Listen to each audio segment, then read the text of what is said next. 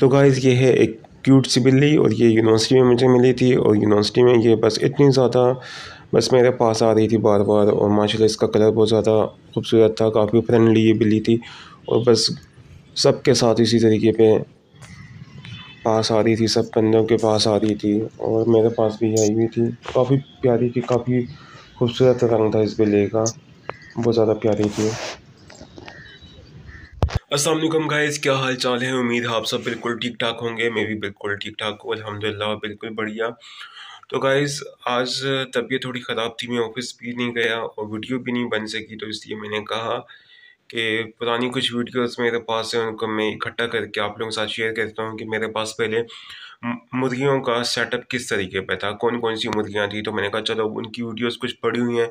तो उन वीडियोस उन सॉरी उन वीडियोस को मैं इकट्ठा करके वो मैं अपलोड कर लेता हूँ और मैं बताता हूँ क्या आया मेरे पास कैसा सेटअप था।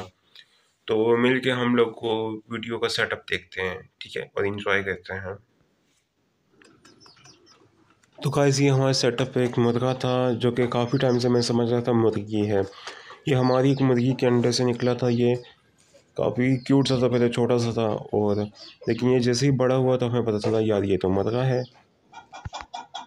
और यहाँ बस स्प्राइट सिल्वर कलर की हैंग थी जिसने अभी अंडे तो खैर स्टार्ट नहीं किए थे, लेकिन ये काफ़ी क्यूट थी, काफ़ी खूबसूरत थी। इसके साथ दो हमारे पास गोल्डन भी थे, दो नहीं, तीन थे हमारे पास गोल्डन वाले।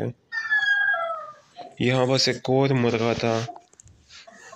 अच्छा ये नॉर्मल वो था चिक था हमारे पास, लेकिन इसका साइज़ रुक गया था, क्योंकि इतने से हाइट थी इसकी और इसने अजान देना स्टार्ट कर ली थी। ये हमारे पास, ये काफ़ी ज़्यादा फ्रेंडली था, बहुत ज़्यादा फ्रेंडली था। बस, ऐसा था जैसे कुत्ते हमारे पास होते हैं ना, कुत्ते जैसे ही आप बुलाओ, आ जाते हैं पास। उस तरीके पे ये हमारे साथ था। एक ये और एक मुर्गी थी हमारे पास। दोनों का बस यही सीन था। जैसे ऊपर जाओ तो बस भाग के आ जाते थे।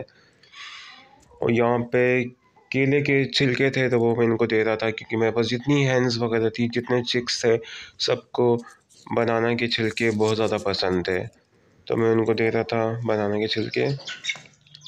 ये मेरे पास गोल्डन स्प्राइट है, एक ये ये दोनों, दो गोल्डन स्प्राइट मेरे पास हैं। दोनों बहुत अच्छे हैं, दोनों बहुत एक्टिव थे।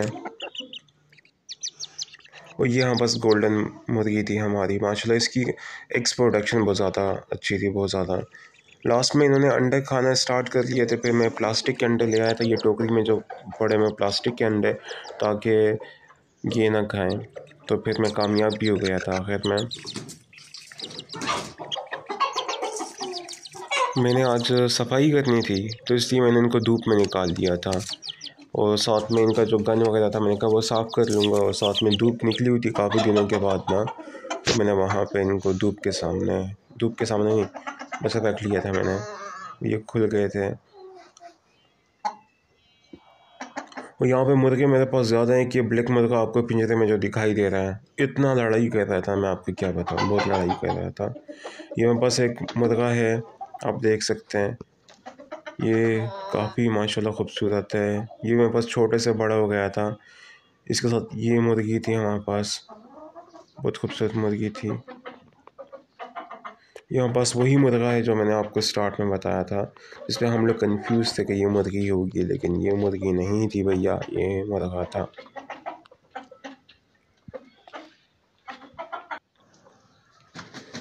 ये भी मेरे पास मुर्गा है गोल्डन कलर का। वो जो गोल्डन मुर्गी आपको दिखाई दे रही है, वो इसकी औलाद में से है।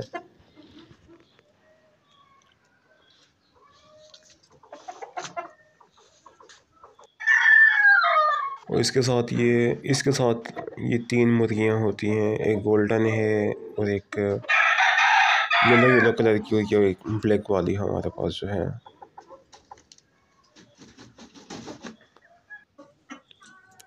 ये हमारे पास भी एक मुर्गी है। इंतहाई खूबसूरत मुर्गी है। इस मुर्गी को लेने के लिए एक बंदा सवाबी से आया था। बहुत खूबसूरत ये मुर्गी थी ना, मैं आपको क्या बताऊँ। अभी इसकी तुम थोड़ी सी वो है ख़राब दिखाई दे रही है, लेकिन ये बहुत खूबसूरत मुर्गी थी। और यहाँ बस दूसरी मुर्गी है, जो कि कोड़क हुई है, और इसके नीचे यहाँ बस अंडे हैं। ओह, इसने मुझे मारा। तो गाइस इस मुर्गी की मैं एक अलग वीडियो बना के आपको, एक अलग वीडियो बना के मैं आपको अपलोड करूँगा। या मुर्गों को खुला छोड़ दो तो ये हाल।